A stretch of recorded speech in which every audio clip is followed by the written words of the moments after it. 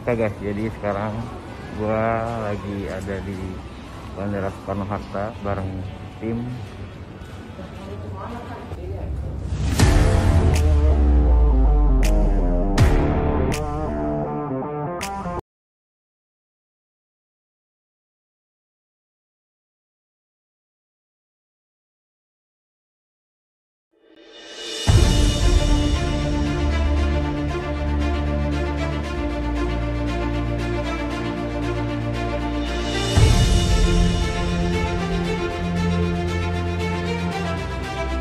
Evan Marvino membeberkan perasaannya setelah seminggu menikah dengan Ufri Datun Nitami.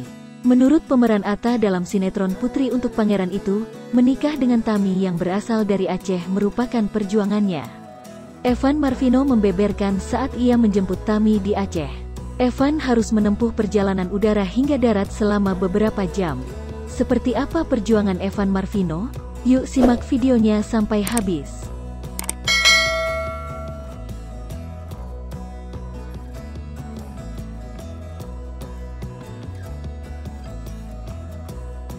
Evan Marvino resmi mengakhiri masa lajangnya dengan menikahi Ufri Datun Nitami pada Jumat, tanggal 12 Januari tahun 2021 lalu.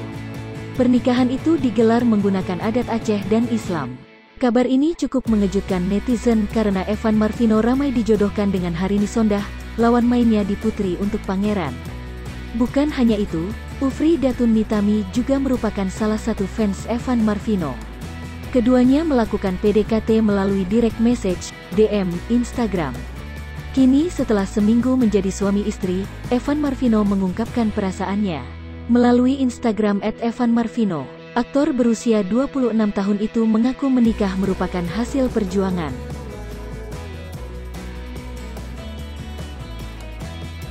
Pasalnya, Ufri bertempat tinggal di pedalaman Aceh. Kemudian, Evan Marvino menjabarkan perjalanannya saat menjemput Ufri. Ia harus menempuh perjalanan darat hingga udara, yang jika ditotal selama 7 jam. Gak kerasa udah seminggu nikah sama Ufri Datu Nitami, ngerasain banget gimana perjuangannya dan perjalanannya jemput dia di Aceh, dari mulai terbang selama 3-4 jam, terus harus lanjut perjalanan 3 jam dari pusat kota ke kampungnya, dia melewati gunung, laut, lembah, bukit, ungkap Evan Marvino dilansir intip seleb dari akun Instagram Evan Marvino yang diunggah pada Jumat, tanggal 22 Januari tahun 2021.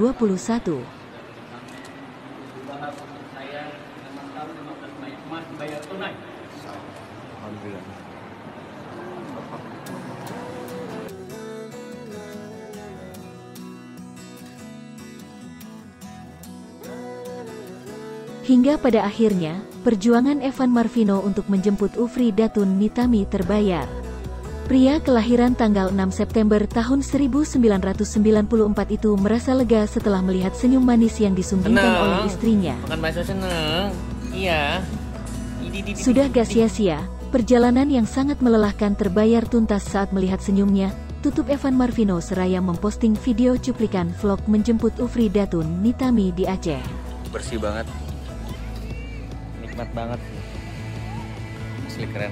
Pantainya masih alami juga walaupun pernah jadi. Evan Marvino dan Ufri Datun Nitami tengah berbulan madu ke berbagai kota di Indonesia, mulai dari Bandung hingga Purwakarta. Melalui instastory masing-masing, Evan dan Tami kompak pamer kemesraan. Dalam sebuah kesempatan, Evan Marvino tampak menyorot wajah Tami dan memuji kecantikannya. Istri plus view pemandangan, sama dengan Masya Allah, tulis Evan seraya menyertakan emoji hati.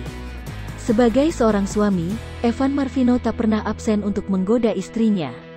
Dengan penuh canda, aktor sinetron anak jalanan itu menyebut Ufri Datun Nitami memiliki berat badan berlebih. Kesal dengan perkataan Evan, Tami langsung mencubitnya. Gendut, kamu gendut, aduh sakit, kata Evan Marvino. Sebelumnya, Evan Marvino pernah membagikan pengalaman malam pertamanya dengan Ufri Datun Nitami. Mendengar godaan sang suami, Ufri Datun Nitami hanya bisa bersembunyi di balik punggung Evan Marvino.